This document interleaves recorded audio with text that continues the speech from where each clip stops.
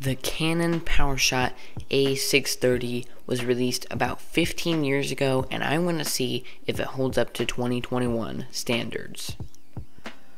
Alright, so we'll start out with video specs. The video specs aren't anything crazy. All we're getting is 640p max resolution up to 30 frames per second.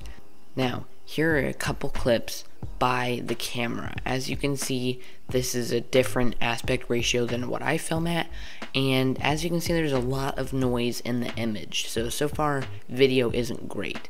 And what's cool is that this does have a four times optical zoom, but there's a problem with that. The problem is, however far you're zoomed in when you start recording video, that's what you're stuck at. You cannot zoom in and out while recording video, you're just stuck at that same length. And you can zoom in digitally, but I don't recommend it because things get pretty, yeah, pretty bad. They don't look great.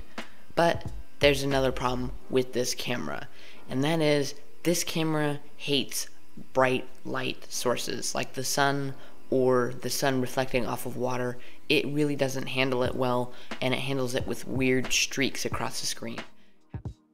Now, how does the audio sound? Here's a little clip about the audio.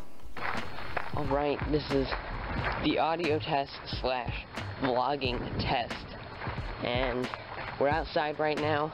There's some waves crashing into the land.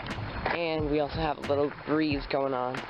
And so I want to see how the camera handles uh, all this noise and how the video looks. Alright, let's talk about photos. This thing has an 8 megapixel sensor, so nothing too crazy, but it gets the job done. And keep in mind, the original iPhone had a 2 megapixel camera, so saying that this camera was released one year before the iPhone and it featured 8 megapixels, that's pretty impressive. So overall, I don't recommend it in 2021, but if you want to get some old looking vintage videos, then it is actually pretty cool for that. And, you know, the photos are decently sharp, but still not the best. If you guys enjoyed today's video, please consider subscribing because it helps me out and lets me know that you guys want to see more.